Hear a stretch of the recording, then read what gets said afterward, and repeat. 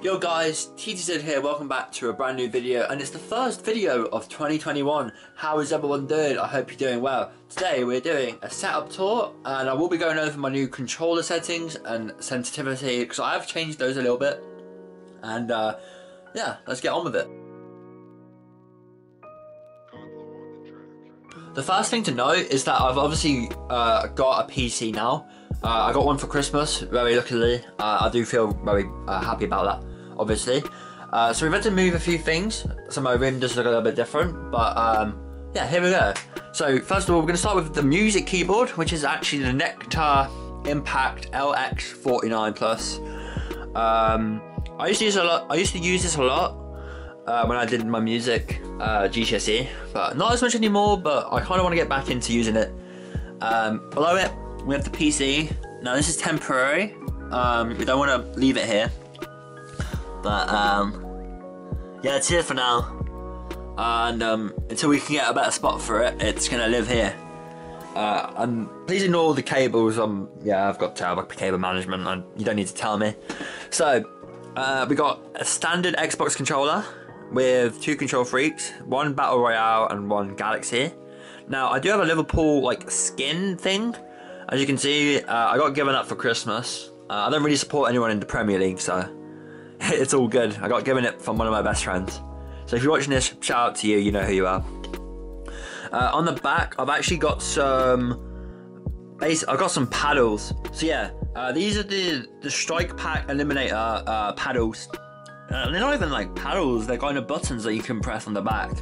Uh, just with a standard controller. Because if you didn't know, guys, I actually did use a SCUF, which is under here. Uh, let me just go get it. I, I did use this SCUF controller.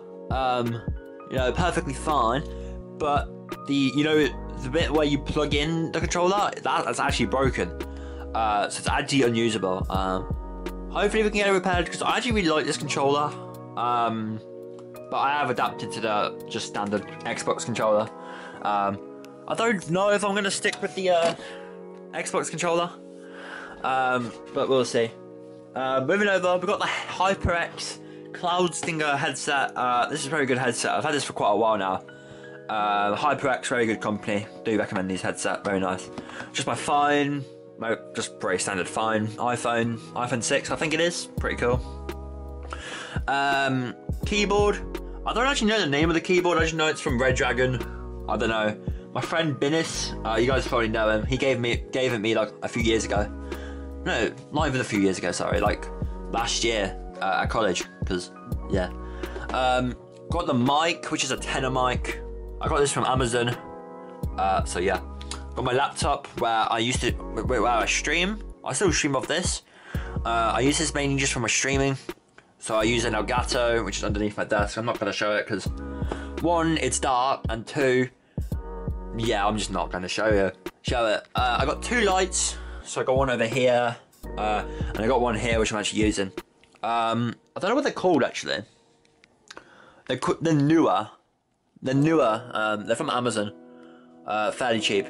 Got the polos. You know, if you know me, I love my polos. Uh, yeah, can't complain with a good polo. Uh, got a SteelSeries mouse mat, which is cool because you know, PC gaming. Then we got two mouses. So the black one, this is the one I used to use.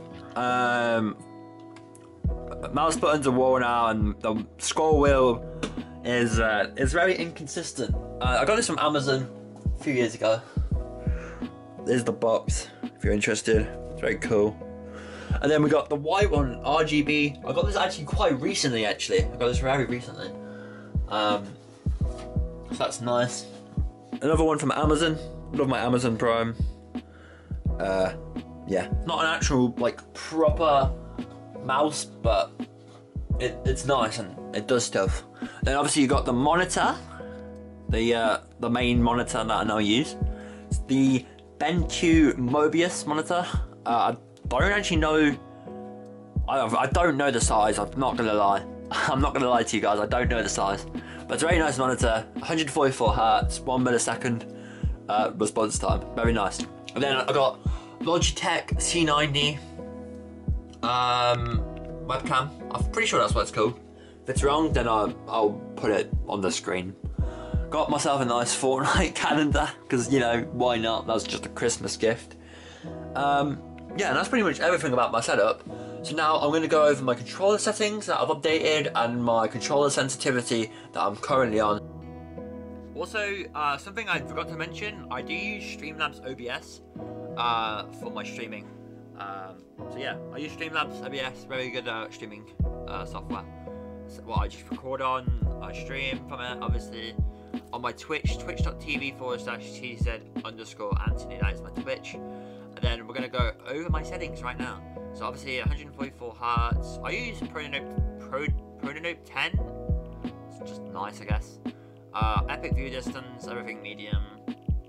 Uh, these settings, kind of just general stuff. HUD, basically everything on, 100%.